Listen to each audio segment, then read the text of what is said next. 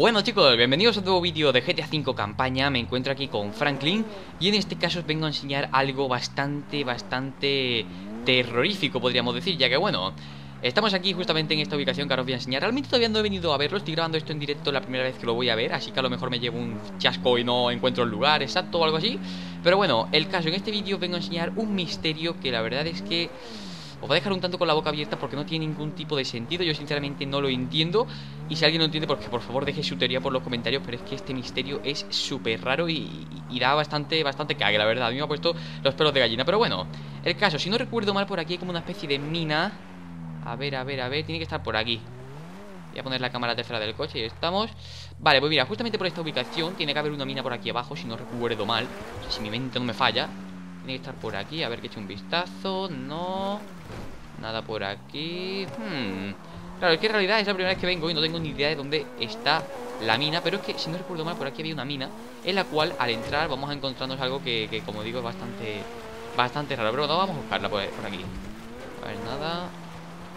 Vamos a tirarnos por aquí abajo. Aquí, aquí, aquí, vale. Aquí está, aquí está, aquí está, aquí está. Si os fijáis, justamente aquí hay una especie de mina Podríamos decir que esto ya estaba, creo, en el GTA 5 eh, de PlayStation 3 y tal y, a ver, un momento, pero aquí no se puede entrar, ¿no?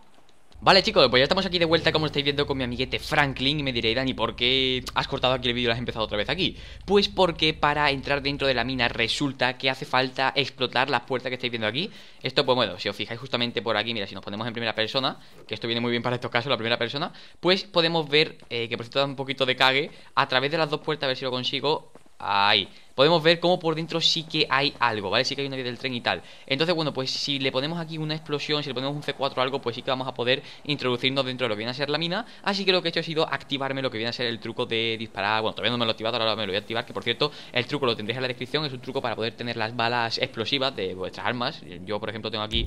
No tengo armas, tío. No, no me lo puedo creer. No me lo puedo creer. Y no tengo armas.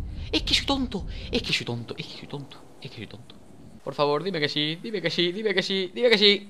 Vale, perfecto, bien chicos, como estáis viendo Me ha activado el truco de los puñetazos explosivos Como estáis viendo, ya que bueno Habéis visto el fail que me ha ocurrido de que me ha activado lo de las balas explosivas Y resulta que no tenía pistola. Así es que soy tonto, tío, que soy tonto. Pero bueno, ya hemos abierto la puerta, chicos. Ahora nos falta introducirnos dentro de la mina Que me da, me da un poquito de miedo, lo digo muy en serio, eh O sea, muy tenebroso esto O sea, que me voy a poner en primera persona para sentir más el miedo, tío. Se escucha el eco, tío, se escucha... Falta solamente una musiquita tenebre de fondo, tío Dani, me presiento que alguien me va a pegar un susto en cualquier momento. O me va a atropellar un tren así súper rápido. No sé, tío, me da miedo. Pero bueno, chicos, por aquí si seguimos Se supone que nos vamos a encontrar algo Un tanto tétrico. Eso sí que es tétrico y da un poquito de cague Pero bueno. Mirad, justamente aquí. Chan, chan, chan. A ver, tampoco ha sido... O sea, quería poner los efectos especiales en plan para que diera miedo Pero tampoco ha dado tanto miedo. Pero bueno, como veis Un señor Sí, sí, sí, sí, sí. Un señor aquí en la maldita vía del tren Tirado y muerto. Y con un traje bastante peculiar Y aparte con, con, una... ¿Eso qué es, tío? Lo que tiene al lado No sé lo que es eso. A ver, vamos a coger la cámara y vamos a inspeccionarlo un poco No, a ver, pero coge la cámara bien, ¿sabes? Ya me entiendes y sinceramente esto a mí me ha dejado con la boca abierta, chicos. Eh, Hay gente que dice que es el misterio este que han metido Del nuevo, en el, GTA 5 de nueva generación El Mr. Murdery o Murder o como se llame Murder Mystery creo que era. Entonces pues bueno Dicen que esto es el final del misterio Que al final el, el, el que muere es esto, algo así, no sé. Y bueno, aquí encontramos esto que Richard Majestic. ¡Ostras! Majestic es un edificio de, de, de, de los santos. Hmm Interesante, interesante, pero no le encuentro el sentido, pero bueno.